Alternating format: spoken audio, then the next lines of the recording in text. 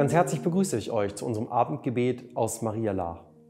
Ob es die Sendung Checker Tobi ist, ob es die Sendung mit der Maus ist oder die Sesamstraße mit dem Slogan Wer nicht fragt, bleibt dumm. Die Botschaft ist immer dieselbe. Die Fragen, die so viele haben, besonders Kinder, sie werden beantwortet durch solche gut aufgemachten Sendungen. Auch im Glauben haben wir doch Fragen. Im Evangelium heißt es einmal, die Jünger verstanden den Sinn der Worte Jesu nicht. Er blieb ihnen verborgen, sodass sie nicht begriffen. Aber sie scheuten sich, Jesus zu fragen, was er damit sagen wollte.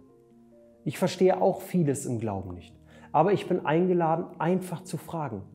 Auch wenn Checker Tobi oder die Sendung mit der Maus uns normalerweise nicht die Geheimnisse des Glaubens erschließen, so tut das doch die Heilige Schrift.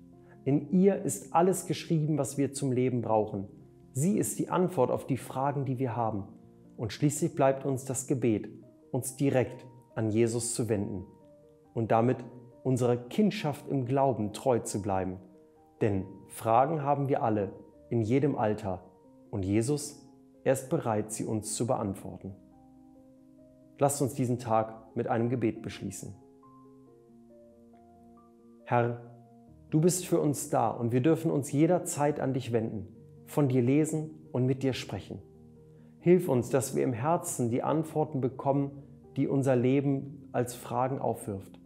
Und gib uns die Kraft darauf zu vertrauen, auch dann, wenn wir nicht jede Frage beantwortet bekommen, zu wissen, dass wir mit dir an der Seite den Weg ins Leben finden werden.